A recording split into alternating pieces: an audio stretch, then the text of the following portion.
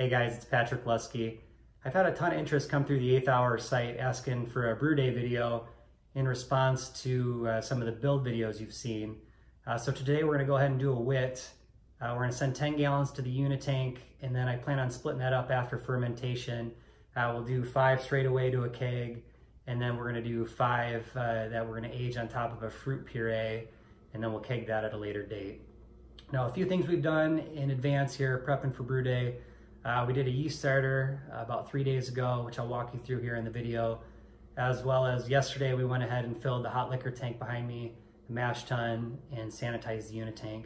Just simplifies today and shortens the time required to complete the brew day.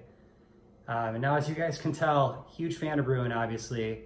Um, not a huge fan of video editing. So bear with me. I hope you guys enjoy it. I'm gonna do a quick yeast starter. Um, I know some guys repair us and do a, a, a simple war or uh, build up the wort or the yeast starter with DME or LME. I'm a huge fan of these uh, fast pitches. Uh, a few bucks extra to save me uh, quite a bit of time is well worth it in my book. Um, real simple, I've cleaned the Erlenmeyer flask with PBE and I've uh, sanitized it with Star San. She's ready to go. Uh, top of the can's been sanitized. so I'm just gonna pour this in here. And I've calculated we have two uh, we have two Yeast packs uh, for this 10 gallon batch. Uh, we're using 3944. I calculated that we needed uh, just a one liter uh, yeast starter here. So real simple instructions on the back of the can, but basically for one liter, you need one can of the fast pitch and then another 16 ounces of water. I know some guys are gonna have a heart attack I just use tap water here fill the can back up 10 years. I've never had an issue with that. So I'm gonna add the water back to the Erlenmeyer flask. And then besides the fast pitch and the water, I usually add just a few uh, granules of the yeast nutrients. Uh, there's a little bit built into the fast pitch, but I've had it for so long sitting around, so I figured I might as well just keep using it. Uh, so a little bit of yeast nutrients. All right. And then I sanitize my scissors. Uh, the Wyeast pack here. Take the corner off. Smacked it about, well, about two hours ago, so she didn't have much time to build up.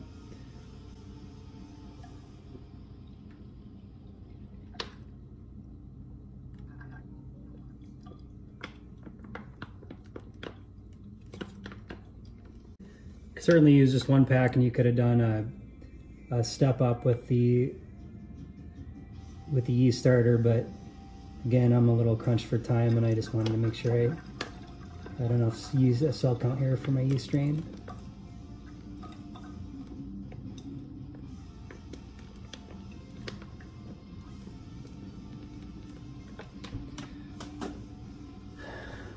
All right, guys, uh, sanitized my foil here.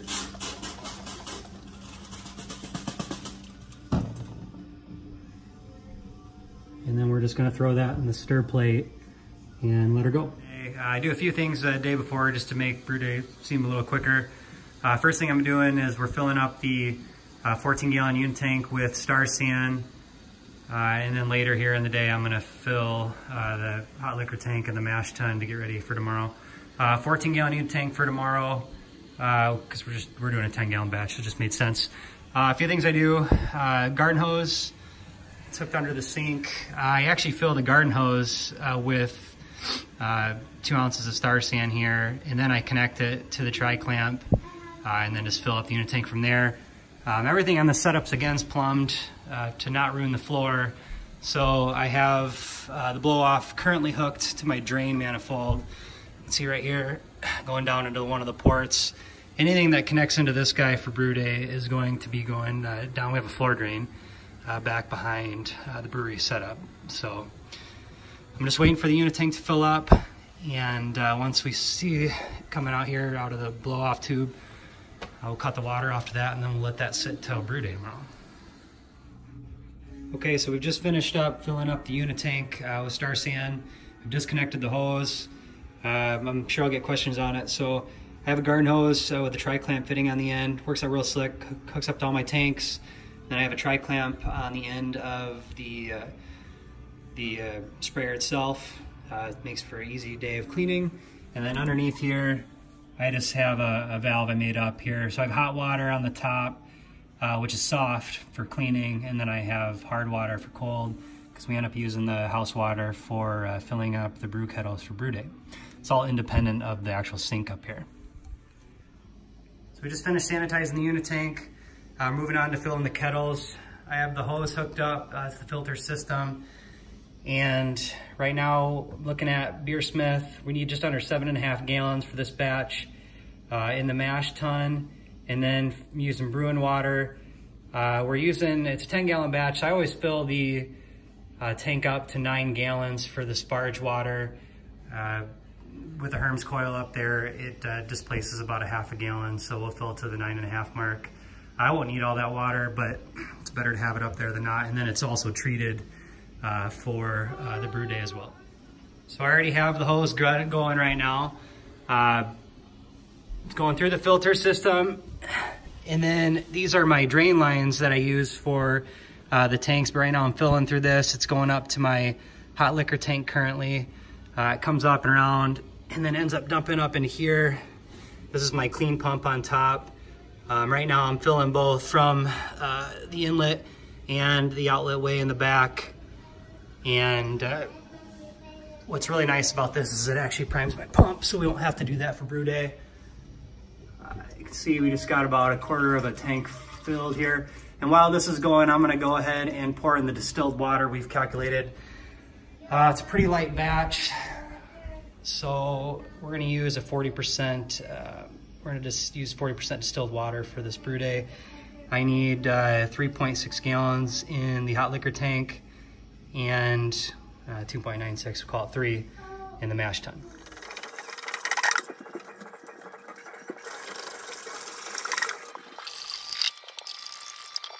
Nine and a half gallons. I'm gonna go ahead and close both valves here so it's gonna stop filling to the top tank.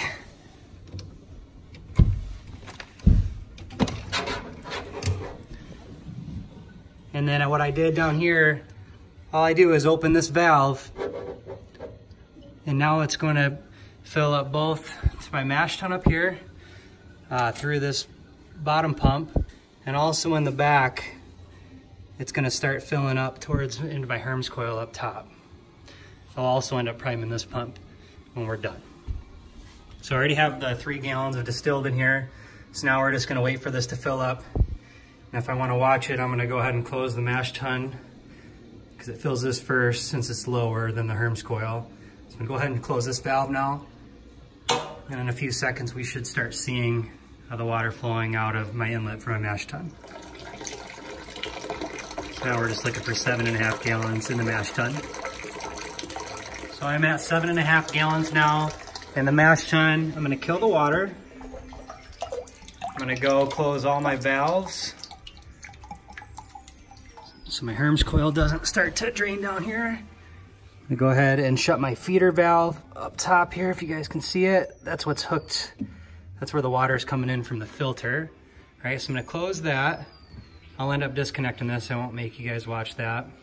And then I'm just gonna get ready for the brew day. So initially, we're gonna close this valve up here because this is what controls the water from the water from the hot liquor tank either flowing with this valve down it flows through the Herms coil and into the mash tun and with it up back here I don't have a, a valve on it because I control it up on the hot liquor tank but that's the return for the hot liquor tank uh, to keep the temperature stable all right so I have everything set up for the brew day the filter is draining on my drip tray for my taps.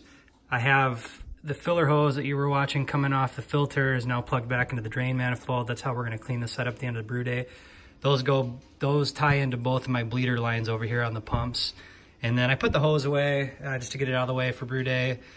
I'm going to end up using it again for the chiller plate when we get to that process.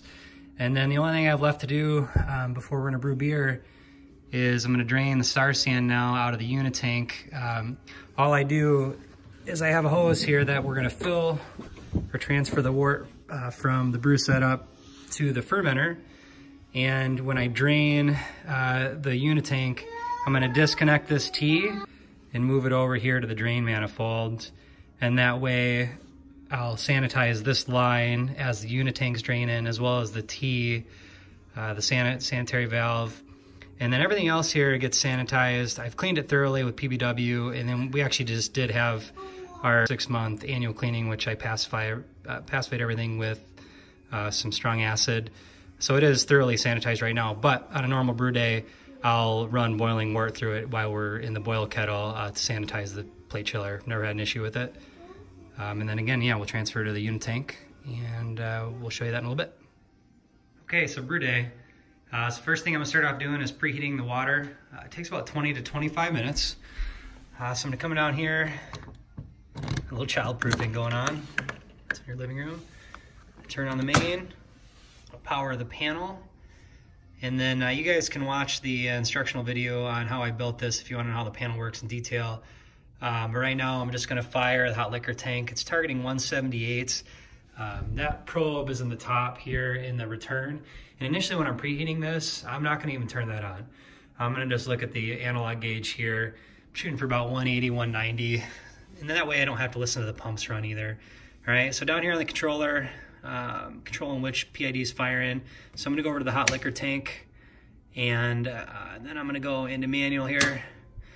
And now since it's looking for 178 and it really won't see it, it's gonna have to get pretty hot to read that outside of the kettle. Um, it's firing. I do have a burnt bulb here, which is unfortunate. This is normally lit uh, and shows you when the when the actual coil is firing. All this down here tells you is that uh, it has the ability to fire if it needs it. Uh, but I can tell you right now the PID is commanding and out input, so it's getting hot and we'll keep an eye on it. Uh, meanwhile, we're going to uh, zest some oranges and grapefruits for this uh, wit, and I'll also mill the grain. Guys, first off, talk about the recipe real quick. Uh, pretty standard wit. Uh, I've tweaked it a little bit. I've added some golden naked oats. I find that adds a real subtle nut flavor, um, just gives it a little bit of depth. And then um, yeah, real straightforward. The hops are pretty standard, no crazy measurements. And um, I did flinch on the coriander. Uh, we were supposed to put in uh, two ounces, and, and you normally I do one ounce for the five gallon batch, but I I scaled it back to 1.75 ounces. I just wanted to see how the flavor comes through first before I go crazy. Um, you see down at the bottom, real standard, uh, not going to be huge alcohol uh, high percentage beer. We're probably finish around 5.2, 5.3. And then the bitterness is pretty average for a wit. Uh, color's good. Uh, for the mash, uh, I settled in at uh, 152. You guys will see how that plays out with the Herms setup. It's pretty slick. We're going to target the temperature and uh, really because of the thermal mass, there's no uh, temp drop when you add the grains. So we're going to hit 152, let it stabilize, and we'll add the grains for the mashing. All right, so that's the basic um, Beersmith recipe. And then we'll go down and uh, we do do water adjustments, which I'll cover in a little bit. We're doing a yellow balanced uh, beer here. And I got the water adjustment. Uh, we've targeted our profile. You'll see in the video uh, me adding my salts. I've had my water tested at Ward Labs. And uh, we're gonna dilute this here with 40% to distilled water. We pretty hard water here in Minnesota, at least in the suburbs.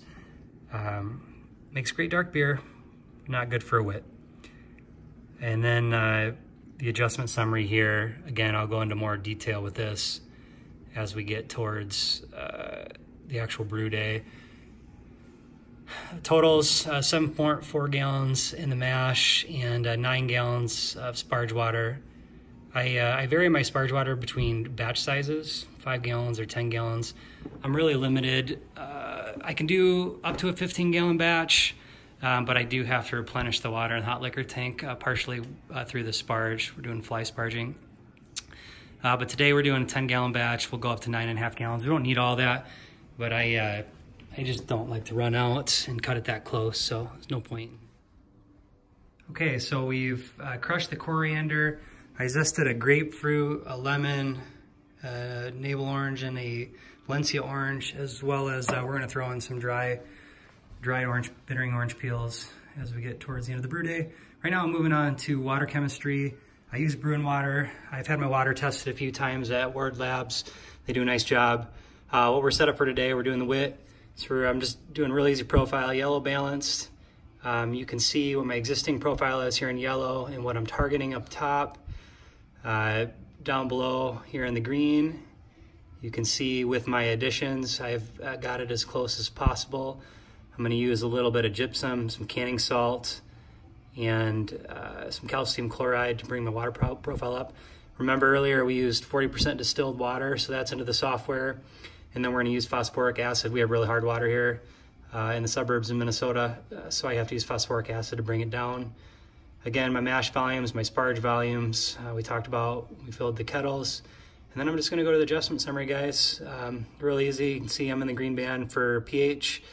Uh, we've talked about the dilution, uh, with the distilled water. And then my totals uh, that I'm gonna add here for uh, my minerals. And that's all right here. Uh, canning salt, calcium chloride, gypsum, phosphoric acid. Phosphoric acid, I find this real nice. I got this at Northern, uh, just graduated cylinder to measure to measure the liquids and otherwise the, the postal stamp scale uh, for, for the canning salt and the calcium chloride. The one thing I've already done, I grabbed some water out of the mash tun with the Pyrex here. I find it's I get a better distribution of the of the of the water, uh, the salts uh, in the mash tun as well as the hot liquor tank if I stir it up in the Pyrex first, then add it back uh, to the kettles versus just dumping it all in there. I find sometimes it's sitting at the bottom at the end of the brew day, which defeats the purpose. So I'm gonna measure these out. I'm not gonna make you watch that. And then we'll move on to milling the grains. All right, now it's time to mill the grains. Uh, normally I do this right off my deck here, uh, but unfortunately uh, Minnesota in February, so we're gonna go down to the basement. All right, we're down to the basement. Uh, I'm gonna mill the grain. Uh, luckily the wife's at work, so we're gonna get away with this without getting in trouble. So I just wired this drill up to a switch. Um, I have it zip tied on, although I'm still probably gonna ride the trigger a little bit.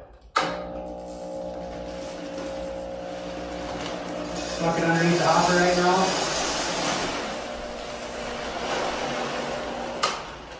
Luckily for me on this on this brew day, it's really it's a 10 gallon batch, but half of it's flaked wheat, so it's really not all that much to mill. So I'm just gonna fill the hopper up. Do this one time here.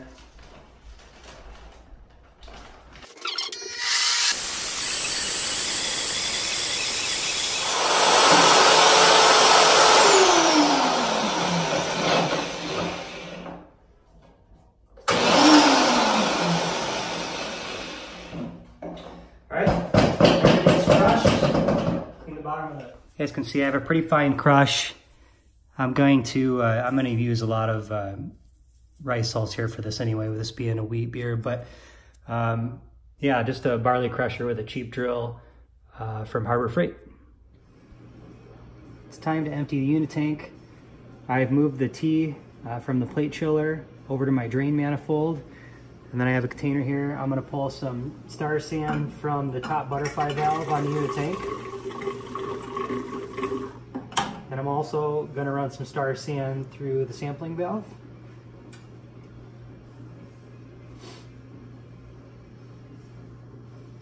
As you guys can see, I've seen some questions asked. Um, with this unitank full under zero pressure, it will push Star San through uh, the coil here.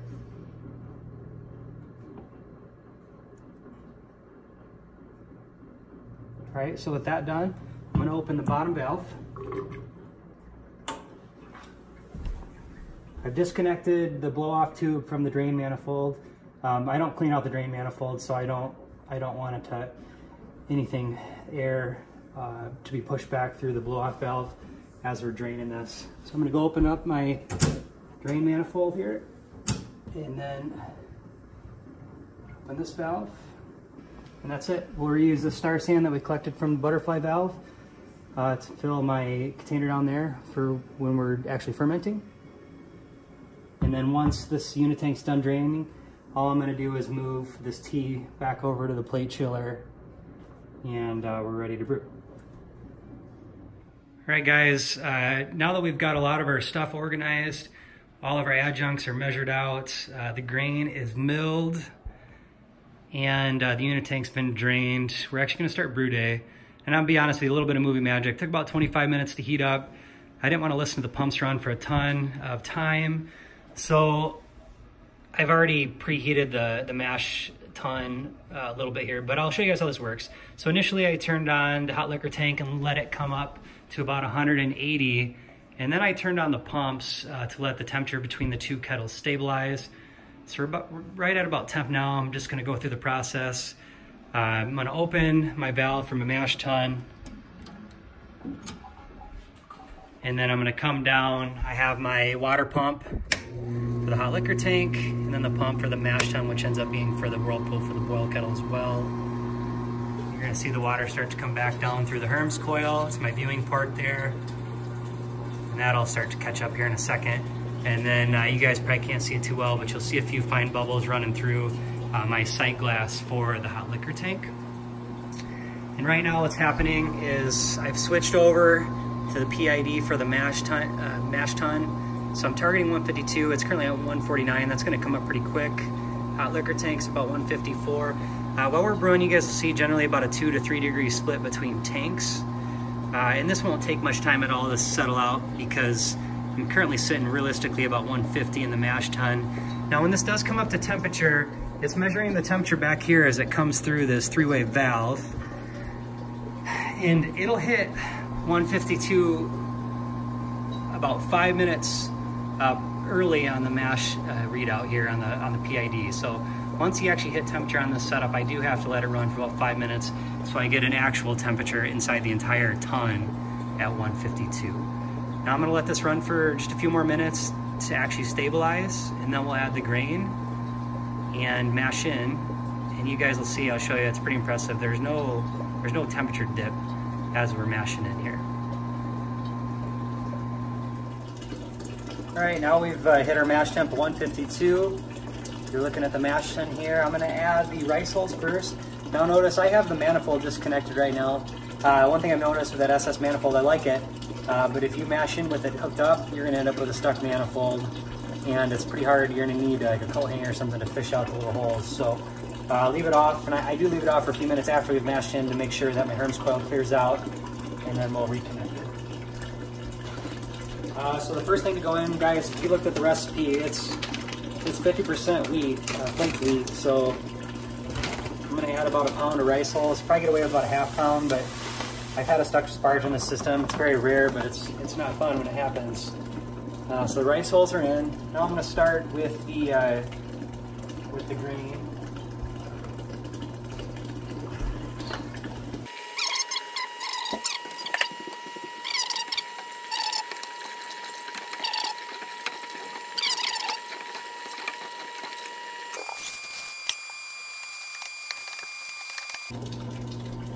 Guys, it's pretty thick, but uh, pump's running real well still. I'm not seeing any dough balls. You just kind of pin up the uh, grain against the side of the kettle. You can get a real good look on whether or not it's starting to clump. I'm pretty happy with that. I noticed my efficiency will go way down, obviously, if you don't get rid of all the dough balls, but uh, this looks real good right now set this aside. So I'm gonna let that run for about three minutes here just to make sure all the grain that I've stirred up gets cleared out of the coil and then I'll add the, uh, add the manifold. Uh, one thing I promise guys, uh, as you can see, lid off, going in, temperature didn't budge, it's hitting 152 right now, it's targeting 152. The hot liquor tank's maintaining 154 right now uh, to hold the mash tun at the appropriate temperature. All right, it's been three minutes since we mashed in. I have a timer running for 57 minutes. Uh, you can see temperature still spot on the mash, 152. Um, and then I've already gone ahead and hooked up the manifold. It rests right on top of the bottom, right on top of the grain bed here. It's really nice having the silicone hose because it just adjusts itself uh, to the proper depth depending on how much uh, beer we're brewing at any given time. You can see the color is pretty light right now, so it'll get a little more clear here as we continue uh, through the brew process. So 60 minutes total on the mash uh, is what I generally run. And then I transfer over to the uh, over to the boil kettle at about over about the course of 30 minutes. I don't like to go under 30 minutes. That's where my efficiency will start to drop off. But I've noticed I don't need the whole hour uh, to transfer over. I get a pretty good extraction. 10 minutes into the mash, I ended up pulling a sample so we could test the pH. Uh, and then I threw it outside to let it cool down for a few minutes. And now we're getting to the point where we're gonna test it with the meter. Um, I have distilled water for rinsing, uh, 0.4 buffer solution for calibration, as well as 0.7. So we've already calibrated the instrument. I'm gonna go ahead and give it a little rinse. And then I'm gonna put it in our sample here. See how we're sitting.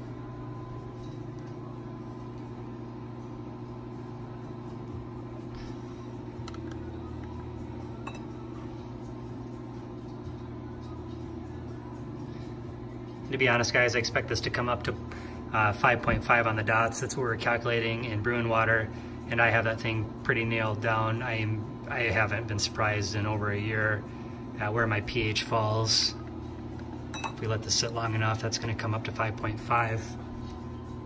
Uh, I'm going to go ahead and jot that down in uh, in Beersmith so I can track that. And then again, just to show you guys uh, in Bru'n water, that's what we were targeting is 5.5 with the mash pH. So that's, that's pretty much right on. And you can see that it has came up to 5.5 now. So you can see we're 30 minutes into the mash. Something I want to show to you guys that don't do a constant recirc. Um, my wort's running super clear right now. If I open the lid, you can see how clear that is. Went from that murky uh, yellowish to a super clear wort. And then you can see how well that uh, manifold works. You get a really nice distribution on top of the green bed. It sits right on top of the green bed. And again, as long as you use a flexible hose to make the connection, it's, um, it's self-adjusting per, per your batch size. Uh, so I'm bored waiting for the mash to finish up.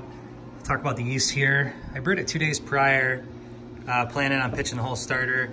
Uh, if it's under two liters, I generally just pitch the little starter. If it's a little bigger than that, I'll chill it overnight and uh, and then just pitch the yeast slurry at the bottom here. This is what you're wanting uh, to pitch into the fermenter. Um, so I'm gonna go ahead and decant, I don't know, probably 600, 800 milliliters off of this and then put it back on the stir plate and let it spin for a little while here. Uh, I pulled it out this morning out of the fridge, so it's definitely up to room temperature. Let it wake up a little bit uh, and get ready to go into the fermenter. So we have 10 minutes left in the mash. I'm gonna go ahead and drive the temperature up to 168. Now this isn't a perfect science, uh, but it's all about the process staying consistent. So I'm gonna target 158. It's gonna start heating up the hot liquor tank to achieve that temperature. Got 10 minutes left. Uh, it won't quite be there, it'll probably be about 162. Uh, when the timer goes off, we'll let it finish driving up the rest of the way, and then we'll start to uh, collect our wort over into the boil kettle. All right, so the timer went off about five minutes ago. Uh, it took that extra time to come up to 168, uh, which is what I expect on the system. Uh, we've equalized in the tun as well on the PID. Now what I'm gonna do is I'm gonna switch the controller over to the hot liquor tank. Right now it's looking at the back of the mash tun. Switch over the hot liquor tank.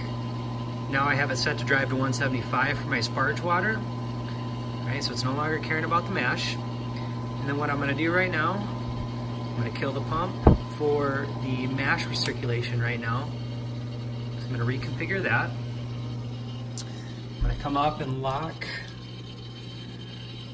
ball valve up here for the Herms coil. then I'm gonna come down here and reconfigure some valves. So we're getting ready to transfer to the boil kettle. I have everything shut up here so nothing's gonna move. So I'm coming down here. I have the three-way valve set up to still draw from the mash tun. Coming through the pump, leader valve we don't use during the actual brew day. And then back here, it's hard to see, I have another three-way valve. I've had to bend this handle up just for, for space. Something I want to rework because this pump's eventually here may start to die. So what I'm gonna do here is turn the valve. So now it's gonna direct that mash tun. It's locked down. It's gonna take the mash right here. It's gonna run it through the pump, come around through the chiller plate. Now I have built a bypass on this. So I have it in the bypass position, so it's gonna come through this tube here. And you know, some of it will drain into the plate chiller, but my whole purpose is not run the entire mash tun through the chiller plates. It's gonna come out here to the T, and then we're gonna come up, and it's gonna come out this top valve here. So now we waited for our hot liquor tank to come up to 175 and stabilize. Uh, mash tun's still at 168. The reading on the PID controller from the back of the tank is just cooled off. Uh, so now we're gonna configure for sparge. Come up and remove the lid here. Sink. Right. I have a sparge arm on the back of the tun. We're gonna lift up into position. Set it just on top of the hose here for now. Right. And then what we're gonna do is come down below. Our pump is off. So we shouldn't see uh, much movement here for the sparge. So I'm gonna open that up. All right, so now the water is able to flow from the hot liquor tank and now the three-way valve blocks it from coming down. So it's gonna come up through the HERMS coil, which is nice because it's gonna rinse that. And then into the mash tun. One thing I gotta do before we do that is close the return for the hot liquor tank. We're gonna kill that. And now uh, we're gonna start transferring some more. Now that our valves are configured, I've turned off the element for the hot liquor tank. I'm gonna switch to boil. It's the boil kettle. It's not gonna fire even though it's commanding it because the switch is off. My valves are in the proper position. So I'm gonna turn on the sparge first. All right, so now it's, I'm gonna open up the valve here. And before I do that, three-way valve back here needs to open diverting the water from my manifold to the sparge arm.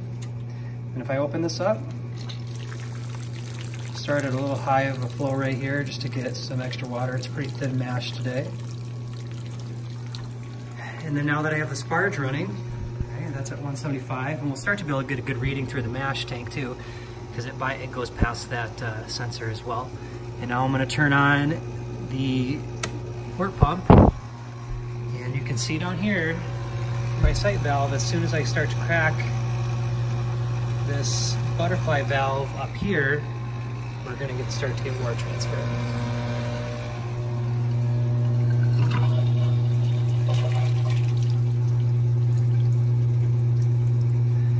Just gonna get it set a good flow rate.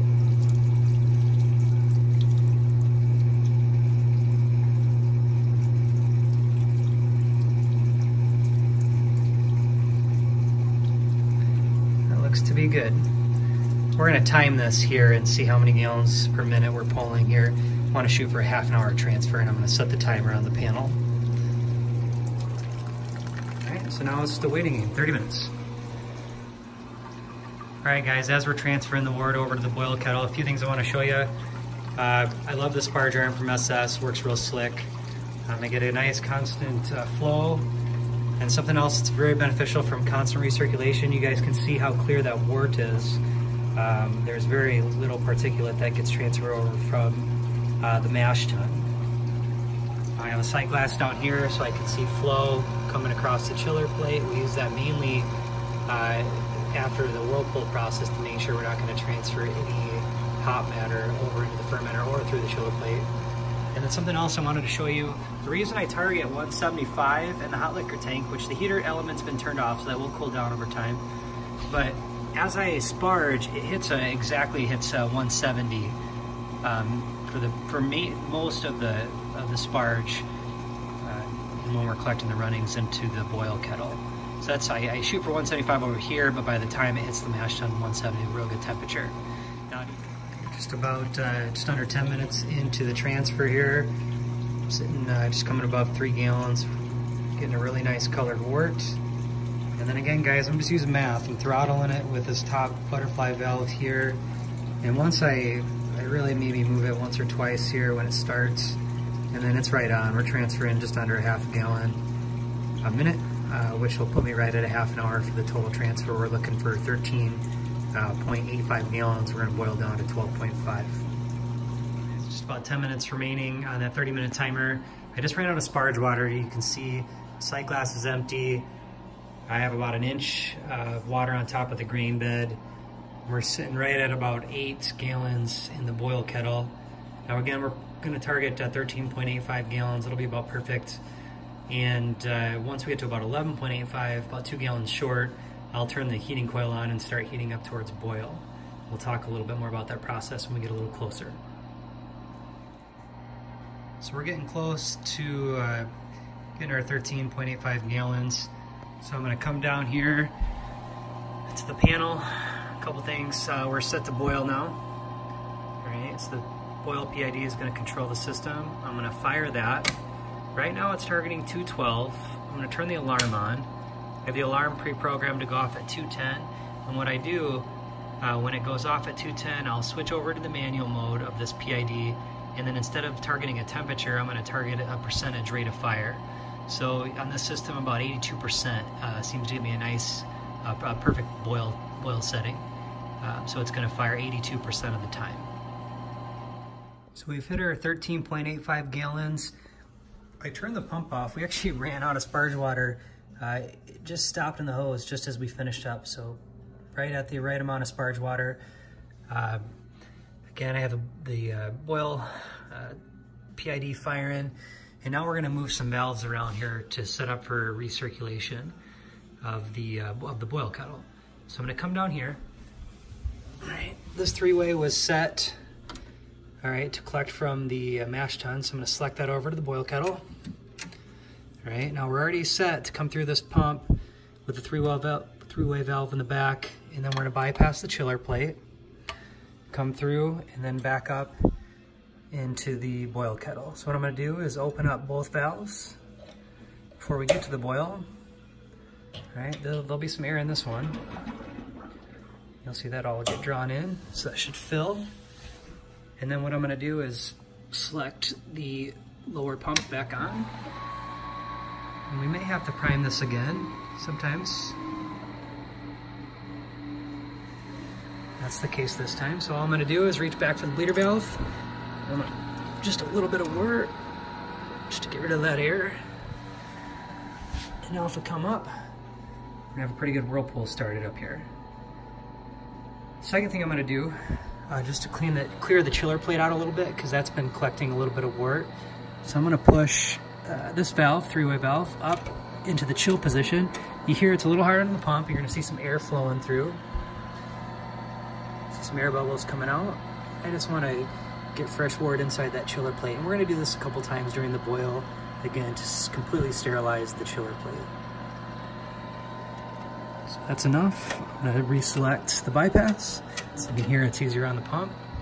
And then I'm gonna deselect the pump. And now we're at 159, coming up to the 212 for the boil, and just a waiting game. Now that we have everything configured for the boil, I'm gonna take a sample, see what our gravity reading is. And I'll let that cool down before I let it hit the hydrometer. I... Now that the samples had a little bit of time to cool, I'm gonna go ahead and see where we're at for our pre-boil gravity.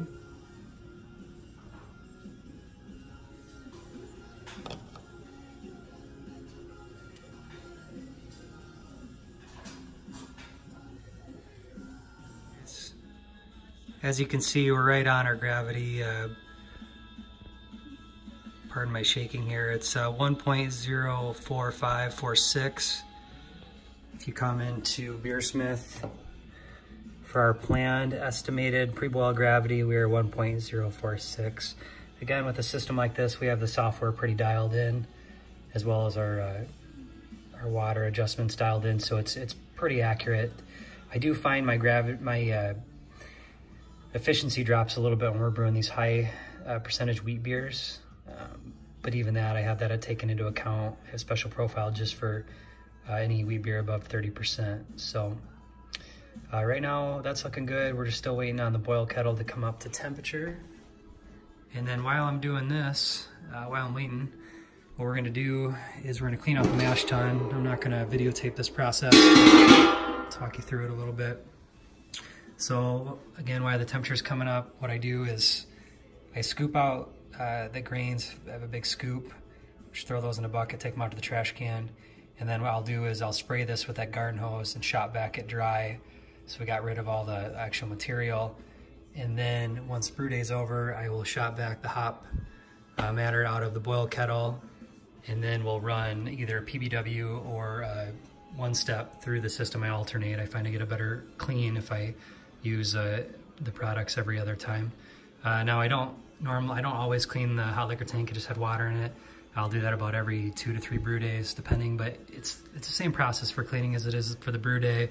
If I was to do the hot liquor tank, I would fill that up with our solution, our cleaning solution, circulate it through the water pump, back up into itself, let it sit, heat it up, and then I would transfer it back over through the sparge arm and the manifold to clean that out, and then again into the into the mash tun, let it sit for a while, scrub it out, and then transfer that down through the bottom pump, through the chiller plate, and that, that'll get its own bath too here at the end of the brew day. Take that apart and do it in the sink, um, back flush it.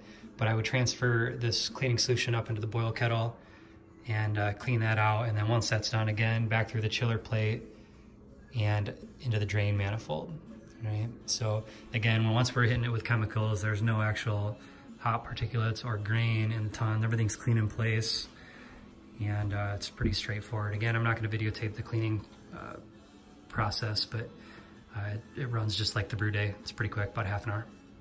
Getting close to my target, gonna turn that off. I'm gonna switch uh, to manual. You can see the manual light up next to the input there, and then I'm gonna go into percentage and dial it down to 82 and let that come up uh, to a nice steady boil. You can see we're getting pretty close. I also have a lot of humidity starting to go into the house, so I'm gonna turn on the fan. Um, this is turning into a fishing story, but I, I believe that fan's about 480 CFM. I set it to low, backs the house pretty nice. Just outside mounted fan on the side of the house.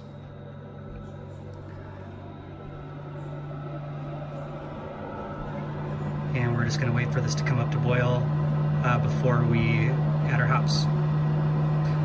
You guys can also see that while I was waiting for that temperature to come up, I got all the grain emptied and then I hosed down the inside of the kettle. So this kettle's ready to be uh, vacuumed uh, at the same time we end up cleaning out the boil kettle. So we've reached our boil here. I'm gonna add the hops. Maybe try not to boil over.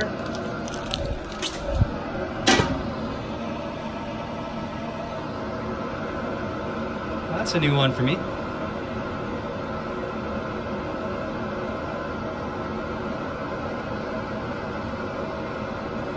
Okay, so hops are added. We're gonna start a 60 minute timer. About 10 minutes in here. Uh, just nice roll boil. I don't know if you guys have ever, uh, anybody else fear the boil over. Uh, having a boil over on a clean in place setup is a pain in the butt. So I'm glad we got that down. Uh, the boil's under control and we'll just sit and wait out. Uh, we're gonna do the next hop edition with 15 minutes remaining. In case you guys are wondering how well that fan works, uh, it's currently negative one outside. And uh, give you a peek of that setup. It's doing a pretty good job removing the moisture. Right, we have 15 minutes left in the boil. Volume's looking pretty good. I'm gonna add Try not to add the whole bag. It's easier when you have two hands. All right, so we're gonna add the, uh, we've added the extra two ounces at the 15 minute mark. So right at the end of the boil, I've added all our adjuncts. Uh, again, uh, grapefruit, uh, a couple oranges, and then some bittering dried orange peels, as well as uh, uh, 1.75 ounces of coriander in my strainer. Now, I don't put my hops in anything, no matter what kind of beer I'm making. Um, but with coriander, I do add it to that strainer um, during the whirlpool because it is not a friend of those chugger pumps. It will stop them. So uh, I'm gonna start the whirlpool now. The heat's coming off. We're gonna do a 20 minute uh, whirlpool. And then uh, the big thing uh, guys complain about the whirlpool is not working, especially when they're preventing the chiller plates from clogging up. Turn that on. Um, they don't let it rest. So we'll do a 20 minute whirlpool. I'm gonna push that strainer down here. And uh, And then once 20 minutes is over, I'm gonna pull the adjuncts and we're gonna give it a 10 minute rest so you can get a nice cone build up and I'll show you guys that in the middle of the boil kettle. Guys, the alarm just went off for the Whirlpool. So I'm gonna get uh, the pump turned off here. Uh, I'm gonna come up and shut the return valve on the kettle. I should have showed you, there was still a lot of stuff floating by here in the sight glass as we were whirlpooling, and that's why you really have to let it rest now for another five, 10 minutes, which in fact, I'm gonna set a timer for just so I have a ballpark. And that's what's gonna let it, all that stuff settle out into a cone. All right, so that's set for 10 minutes. Um, I do have the ability, obviously, to hold temperature while we're doing the whirlpool for some of our, of our like New England IPAs, um, but not, not obviously terribly important for this beer, so I just let it fall. I have the uh, hose hooked up for the plate chiller now. All right, so I'm gonna run cold water through that. And then I have the drain hooked up in the back. Uh, it's going back to the drain manifold there. I'm gonna switch the bypass. I hit this uh, twice uh, with boiling water, boiling wort to have it settle out. Uh, or sorry, boiling wort to sterilize the inside of that chiller. And you guys will see at the end of this video, I clean it out pretty good when we're done brewing. Um, so we're just gonna wait for that 10 minutes to expire. I'm also gonna pull out the adjuncts now, um, but that's definitely gonna be a two-handed process, so you're not gonna get to see that. Um, you're gonna get some background noise from now on out. I got the peanut gallery home from school, uh, so hope that doesn't drive you guys crazy. All right, we're still waiting for the uh, whirlpool to settle. Um, a little bit ago, before that, I took a sample uh, of the post boil. Uh, so we're gonna take a look at that with a hydrometer. We're supposed to be at 1.53, and we're right on the money with the hydrometer. All right, 1.53, and then our estimated uh, original gravity for this beer it's coming in at 1.053. So beer's looking pretty good right now. We're gonna chill it and uh, send it to the fermenter and pitch the yeast. The Plate chiller cooled down. Uh, now we're gonna turn our pump on and send it to the fermenter. Fortunate uh, Minnesota winter, groundwater so cold, we can run full tilt out to the fermenter. Uh, one thing we gotta get set up before we do that, I have the oxygen tank in here. I also have CO2 in the back for carbonation and pushing, uh, doing pressure transfers. So I'm gonna open that, we're running pretty fast today, so I'm gonna run about an eighth of a liter of oxygen. So I don't know if you guys will be able to see that. There's an indicator right here. I'm gonna run a one eighth of oxygen to uh, the wort as it runs through. So that oxygen's actually coming out here to this hose. I'm gonna open the valve here. The valve to the fermenter is open. Valve up here, release pressure as we fill the fermenter. And then all we're gonna do is we're gonna turn our pump on. All right. I'm not bypassing the plate chiller anymore. So we're gonna open our sample valve and we should see flow.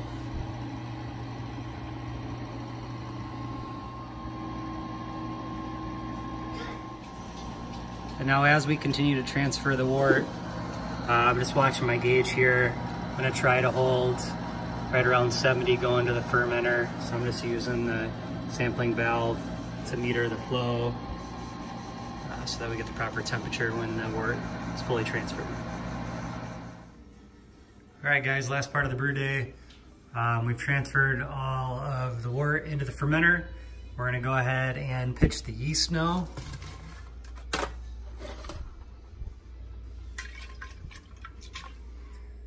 Right? So about 800 milliliters going into the fermenter.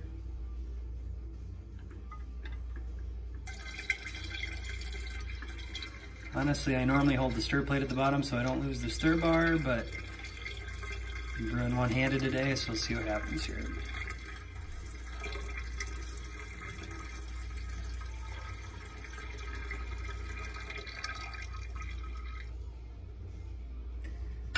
Gonna sacrifice a little bit of yeast to not lose that. Uh, so that's in the fermenter. I'm also gonna pitch, I have a couple tilts. It's been sanitizing down in the jar here that I'm gonna use for my blow off tube.